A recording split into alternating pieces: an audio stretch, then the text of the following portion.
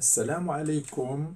نحن اليوم في لقاء جديد لنتحدث عن مهارة التعبير والإنشاء مهارة المقارنة والاستنتاج. معلوم أن هذه المهارة يعني نقوم بها في حياتنا اليومية بشكل عادي وشكل تلقائي فنحن دائما نقارن بين شيئين أو أكثر لنحكم في النهاية أي الأمرين آه، يعني هو أفضل وهو أقرب إلى وجداننا أو إلى مصلحتنا. على هذا الأساس فهذا الدرس هو مهم جدا ولكن نحن اليوم سنتحدث عن المقارنة والاستنتاج يعني المقارنة بين نصين أو فكرتين أو موضوعين نقارن بينهما ثم نستنتج أي الموضوعين هو آه، أكثر فائدة أو أقل فائدة أو آه، يعني سنقارن ونصل إلى نتيجة معينة من خلال هذه المقارنة نصدر حكما معينا ما معنى المقارنة؟ ما معنى؟ المقارنة هي بيان نقط التشابه والاختلاف بين أمرين اثنين أو أكثر نقصد بالأمرين هنا يعني يمكن أن تكون أمام موضوعين اثنين موضوعين أو مفهومين ويمكن أن تكون تقارن يعني بين شخصين كذلك. كل هذه الأشياء تدخل في إطار هذه المقارنة نقط التشابه والاختلاف في حين أن الاستنتاج هو الخلاصة أو الحكم الذي تنتهي إليه بعد المقارنة التي قمت بها بين هذين الأمرين. بعد هذا يجب أن نتعرف على ماذا؟ على مكونات المقارنة ومكونات الاستنتاج حتى يتم هذا العمل اللي هو المقارنة حتى يتم بطريقة منهجية وطريقة مضبوطة توصلنا إلى حكم أو توصلنا إلى استنتاج فيه الكثير من الدقة إن لم تكن فيه الدقة التامة العلمية الموضوعية فعلى الأقل نحن نلامس هذا الاستنتاج الموضوعي مكونات المقارنة وإجراءات المقارنة.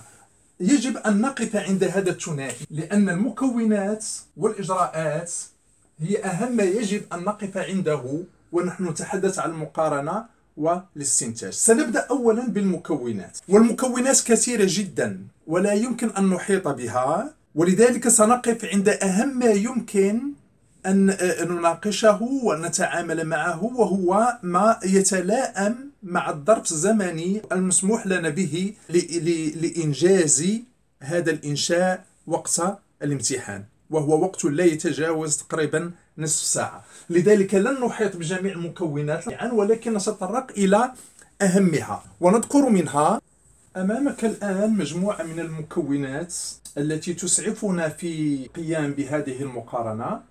ونعتمد بالأخص ونحن ننظر إلى النص الذي يطلب منا أن ننجز فيه هذه العملية وهذه المهارة. نركز على الكلمات المفاتيح أولا لأن هذه الكلمات المفاتيح هي التي ستفتحنا على موضوع النص ونحن مطالبين كذلك بتحديد موضوع النص. نعرفه أولا بمعرفة المفاتيح فعندما أجد كلمات هذا من هذا هو المقصود بالكلمات المفاتيح. عندما أجد كلمات تدخل في إطار البيئة مثلا سأعرف بأن الموضوع يتحدث عن البيئة. ونفس الأمر قل هو عن عن المواضيع الأخرى كالشعر مثلا أو كالعدل أو التسامح إلى آخره. طيب تحديد الكلمات المفاتيح هذه مسألة أساسية. ينقلنا هذا إلى تحديد موضوع النصين. أقصد بالنصين اللذين هما موضوع المقارنة والاستنتاج. وانظر أنا كتبت موضوع النصين ثم وضعت عارضة وكتبت النص لأنني أحيانا نكون أمام نصين اثنين قال الكاتب الفلاني ثم قال الكاتب الفلاني وعلي أن أن أقارن بين آه، النصين وأحيانا أكون أمام نص واحد.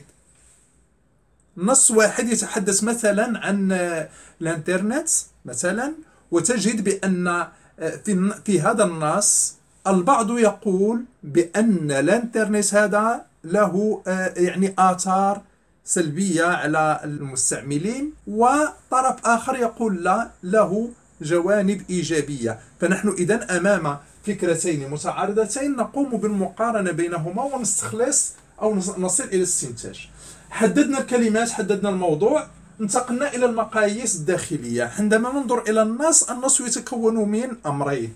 من جانب الشكل وجانب المضمون. عندما تكون أمام قصيدة مثلا لابد أن تشير بأن هذا النص شكله شكل قصيدة عمودية مثلا تعتمد على نظام الشطرين. أو إذا كان نصا نثريا ستقول بأن شكله نص نثري. أما المضمون فهو الموضوع الذي يعالجه هذا النص. سنتطرق إلى هذا المقاييس الخارجية عندما تنظر إلى نص معين وتسعفك يسعفك رصيدك المعرفي لكي تشير بأن هذا النص مثلا أنتج في العصر الجاهلي أو أنتج في العصر العباسي أو أنتج في العصر الحديث ومكان الذي أنتج فيه يعني أن الكاتب كان يعيش في العراق أو كان يعيش في الرباط أو يعيش في غيرهما تحدد.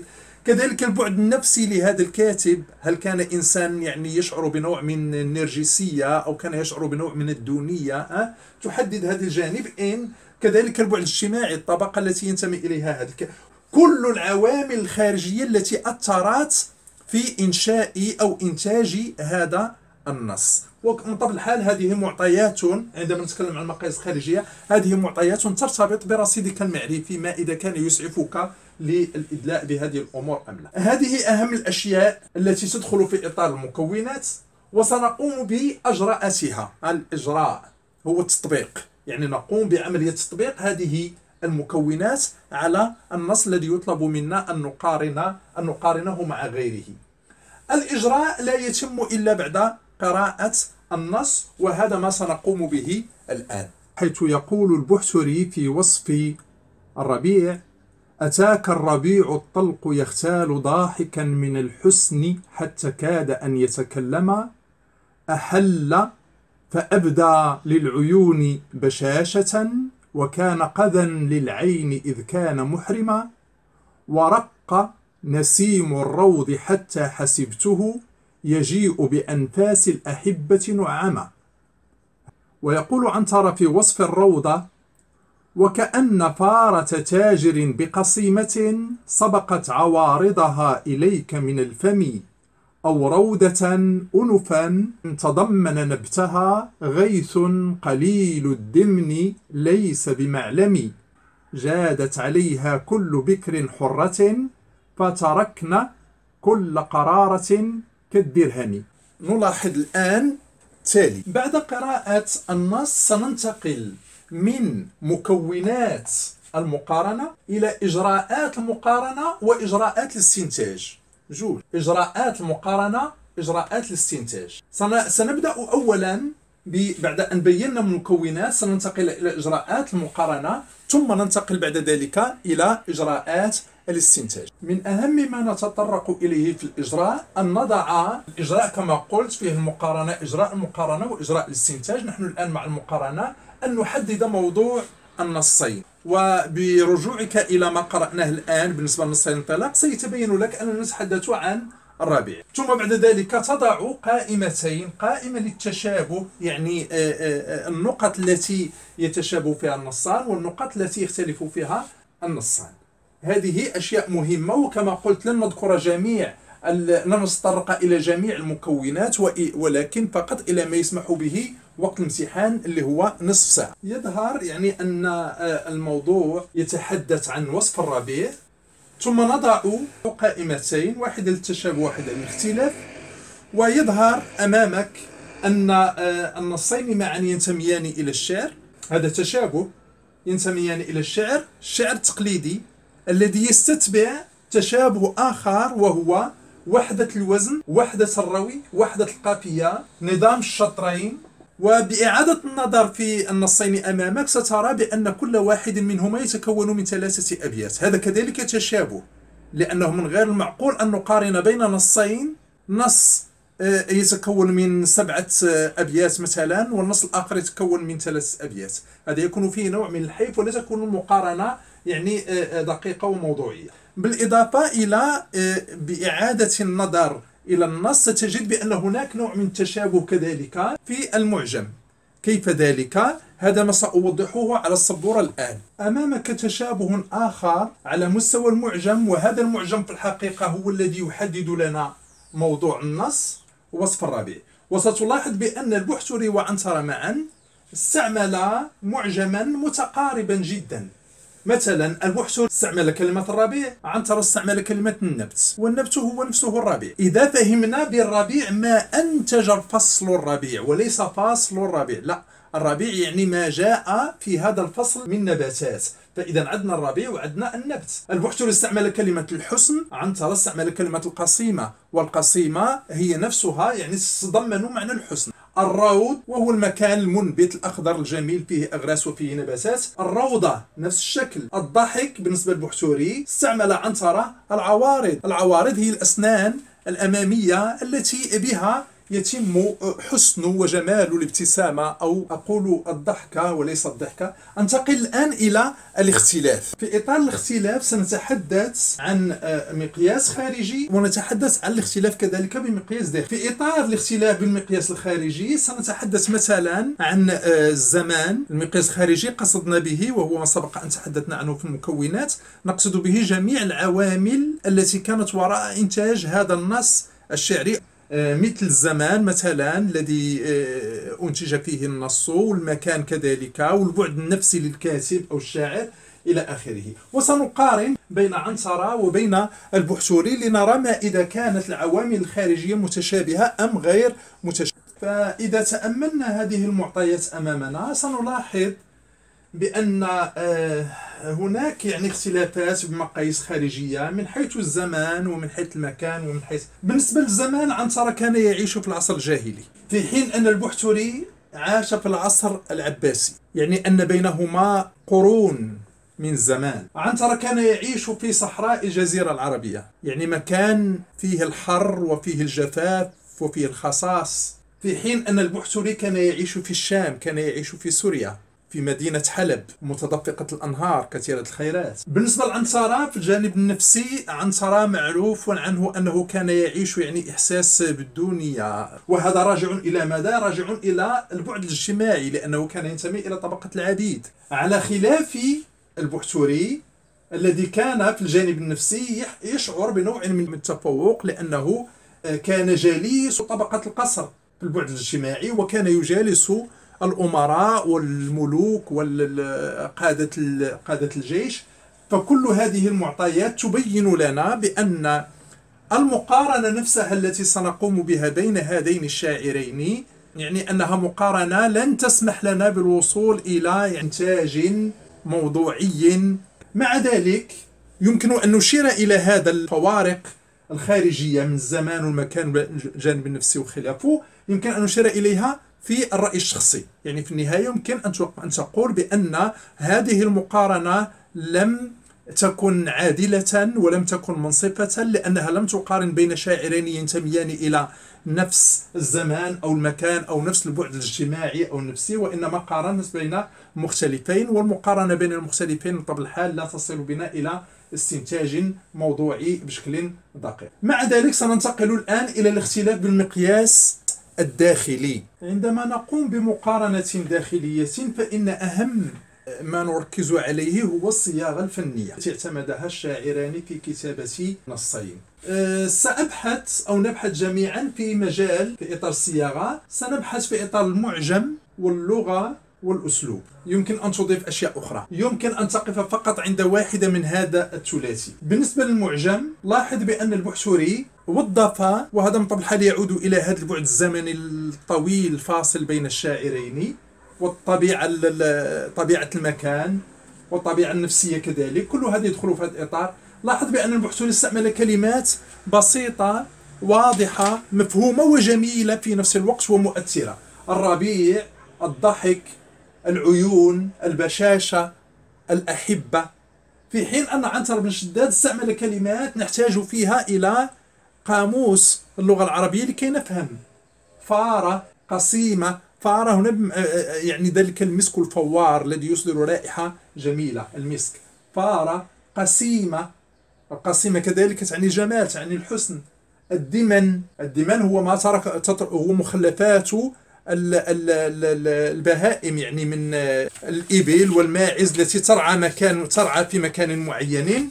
ثم تترك مخلفاتها في هذه المناطق. معلم قرارة. فهذه كلمات آه، تدخل في إطار معجم عنتر بن شداد ويظهر الفرق واضح بين المعجمين. المعجم الأول واضح وبسيط وجميل والثاني فيه نوع من التعقيد نحتاج معه إلى القاموس. بالنسبة إلى اللغة لغة البحتوري كما قرأت في النص لغة تصويرية يعني هيمنة هيمنة الاستعارة والوصف الداخلي الوجداني على آه، الموضوع. يعني وهو يصف الربيع وصفه بوجدانه تحدث عنه كما لو أنه إنسان. أتاك الربيع الطلق يختال آه، آه، أو كما قال. يعني أنه أعطاه صفات إنسانية وهذا ما نسميه بالأنسنة أنسن الشيء. في حين أن عنترة تحدث بلغة تقريرية. صحيح لماذا؟ لأن عندما تعود إلى نص عنتر بن شداد ستجد استعمل كأن التشبيه في بداية النص واستعمل الصعارة كذلك في النهاية عندما قال جادت عليها كل بكر حرة. البكر الحرة هنا يقصد به الغمامة الغمامة الممتلئة بالماء بكر يعني أول مرة ستمطر حرة يعني أن ماءها آه، ماء معتدل ليس فيه برد. تبروري وليس فيه يعني ليس ماء شديد البرودة ولا ماء تخالطه سخونة معينة. لا إنه ماء طاهر طيب عذب إلى آخره. هذا هو المقصود بالبكر الحرة. طيب استعمل قل لغة قرارية. فيها التشبيه وفيها السعارة ولكن مع ذلك هذا التشبيه وهذا السعارة كان تشبيها سطحيا بحيث أن الجانب التقريري هو الذي غلب على كلام أو على النص الذي كسبه عنتر عندما تنتقل إلى الأسلوب وكل هذا يدخل في إطار الصياغة عندما تنتقل إلى الأسلوب ستجد البحثور اعتمد الأسلوب الخبري الطالبي وهذا يتماشى بطبيعة الحال مع الاستعارة ومع الوصف لأنه آه، وصف الربيع بأنه إنسان وهذا أمر يدعو إلى التوكيد. ولذلك تجد آه، تجده اعتمد نوعا من اعتمد هذا الخبر الطلبي في حين أن عنترة اعتمد على خبر ابتدائي لأن كلامه لا يحتاج إلى نوع من التأكيدات هذه المعطيات لست ملزما بأن تدرجها في كتابتك. إن فعلت فهو جيد ولكن لا تنسى بأن المطلوب منك هو يعني أربعة آه، آه، عشر سطرا. فإذا ذكرت كل هذا تتجاوز هذه الأسطر وتصل إلى 30 سطرا. فاكتفي مثلا بالحديث عن اللغة. عوض أن تتحدث عن كل هذه الأشياء. قل بأن هناك صيغ فنية مختلفة المعجم والأسلوب ولكن سأركز على اللغة واذكر فقط هذه الأشياء. ربما تكون فوق تغنيك عن المعطيات الأخرى. بعد هذه الخطوات ننتقل الآن إلى آه، إجراء إلى الخطوة البسيطة الآن لأن هي الحكم النهاية. إجراءات الاستنتاج. كنا في إجراءات المقارنة. سننتقل إلى إجراءات الاستنتاج. الآن وصلت إلى الخطوة الأخيرة وهي الاستنتاج. إجراء الاستنتاج يأتي من ماذا؟ يأتي من التأمل في مميزات النصين سلبا وإيجابا. نحن قمنا بقراءة النصين ووضعنا خانتين خانة خاصة بنقاط التشابه خانة خاصة بنقاط الاختلاف. وركزنا بالأخص على ماذا؟ على المقياس الداخلي الذي اعتمدنا فيه على الصيغة الفنية. الصيغة الفنية هذه هي المقياس الأساس الذي نعتمده في الاستنتاج. من طبع الحال المسألة ترتبط بموضوعية المقارنة ولكنها لا تخلو كذلك من الذوق الشخصي. فستصل الآن إلى الحكم. قرأت النصين. شعرت بأن هذا النص بالنسبة إلي أكثر شاعرية من الآخر أفضل منه من حيث الصياغة. ستوظف هذه المفردات مثل أفضل أحسن أقل أكثر. وستقول بأن النص الفلاني هو أكثر شاعرية من الثاني أو أن الثاني أقل فنية من الأول. تعتمد هذه المعطيات ولكن مع ذلك آه، سيبقى دائما نوع من إحساس بأن هذا الحكم خضع بشكل معين للذوق آه، الشخصي. لأنه لا يمكن أن تجرد نفسك من ذوقك الشخصي. أنا أقول بأن هذا الحكم مرتبط بالذوق الشخصي لأن ما يهمنا هو أن تبرر حكمك. أنت ستقول بأن الشاعر ألف أفضل من الشاعر باء من حيث كذا وكذا وكذا وكذا. طيب بررت هذا مهم. آه، قارئ آخر سيقول لا الشاعر باء أكثر شاعرية من الشاعر ألف.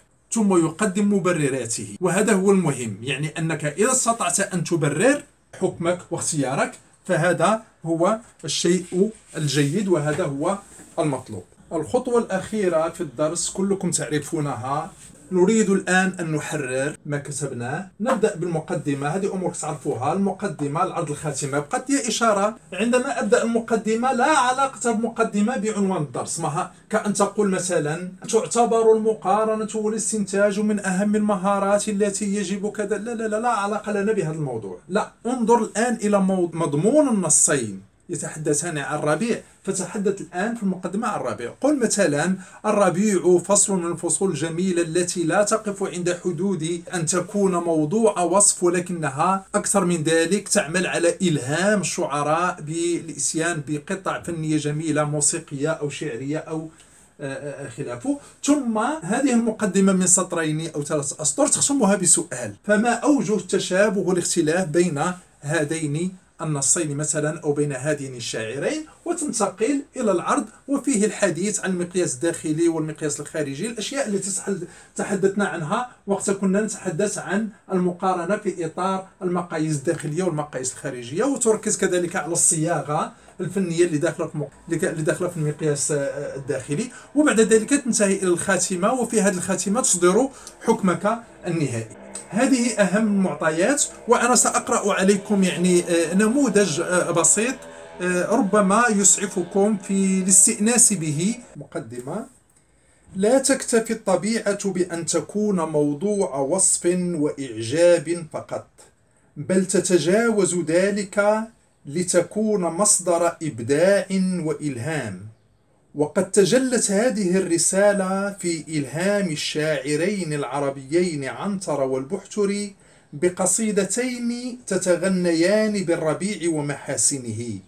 فما أوجه التشابه والاختلاف بين النصين وأيهما أقرب إلى التأثير في المتلقي إن قراءة العرض الآن إن قراءة هذين المقطعين الشعريين تبين أنهما يشتركان في جملة من الخصائص من بينها الانتماء إلى الشعر التقليدي.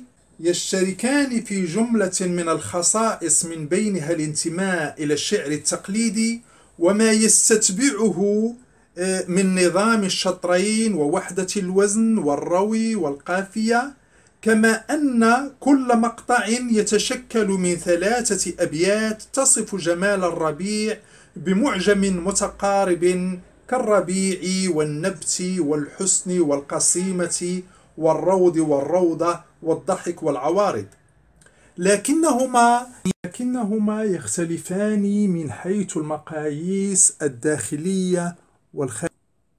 أما الاختلاف الخارجي فيتمثل في الفارق الزمني الشاسع بين عصر عنتر الجاهلي وعصر البحتر العباسي. ثم إن عنترة عاش في مكان صحراوي قاحل في حين عاش البحتري في سوريا المتدفقة الأنهار. هذا بالإضافة إلى اختلاف التركيبة النفسية للشاعرين فعنتر عاش عيشة العبيد في حين كان البحتري جليس الخلفاء والوزراء وقادة الجيوش.